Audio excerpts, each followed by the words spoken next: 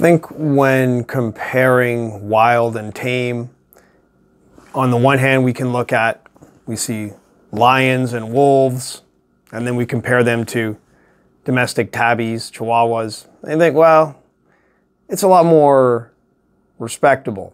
You know, there's something more magnificent about a lion or a wolf than there is about a domestic cat or dog. But then when we think about it, uh, we also think, well, you know, do I want to live in a world where lions and wolves are, you know, eating everything? Uh, maybe it's a lot nicer to be in this tame world. You know, the cats, you know, maybe they'll still kill some birds and mice, but you know, their their aggression is reduced, and the domestic dogs have far reduced aggression below wolves. They're just there's just something kind of nice and peaceful, almost like innocent, about these pets about these domesticated animals. It, it is almost kind of nice, you know. It's like, oh, you know, they're they're just they're they're cute and they don't really hurt things, uh, and so isn't that better?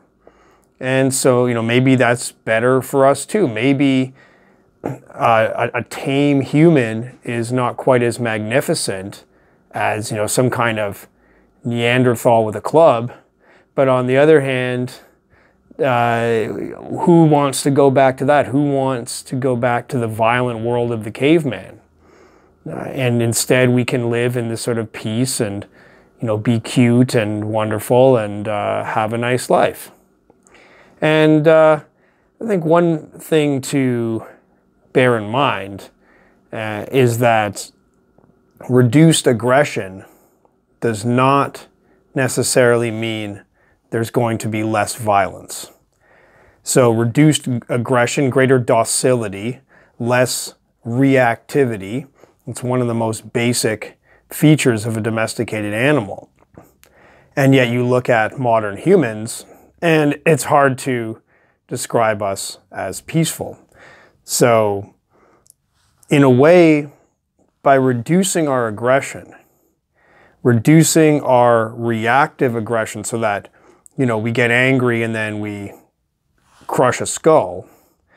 Well, by reducing that aggression, it actually makes us able to do greater damage, to be more violent, more effectively violent, using smart violence, and end up causing a lot more destruction.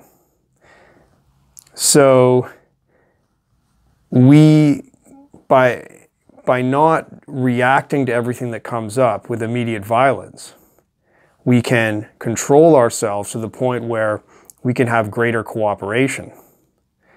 But then what do we do with that cooperation? We cooperate with our group and we can then have organized aggression against other groups. I mean, why, why is this? Why is it if we really have reduced aggression, then how are we still able to do such destruction? And I don't have the answer to this. I just think it has to be has to be separated. The idea of being a cute, tame, domesticated animal has to be separated from the idea of being peaceful. Because it seems like there's really maybe two explanations. And one is that we express our aggression through our cooperative efforts. So we are aggressive in a group together rather than just individually lashing out. And the other explanation might be that we do actually have reduced aggression and that we are more docile and easily controlled.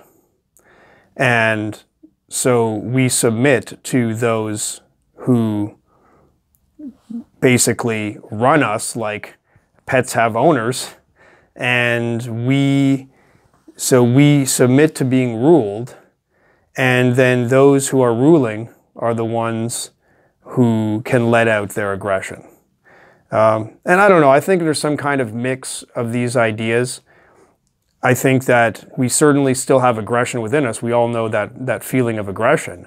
So we, we certainly, we're not completely tame in that sense. We don't have, we're not completely shut down uh, from any kind of aggression. But, but maybe even pets aren't like that either. I mean, a cat still likes to hurt mice and birds. and uh, dog, when a dog goes chasing a squirrel, uh, he's not going off after the squirrel with the intention of giving it a hug. So this aggression is never really gone.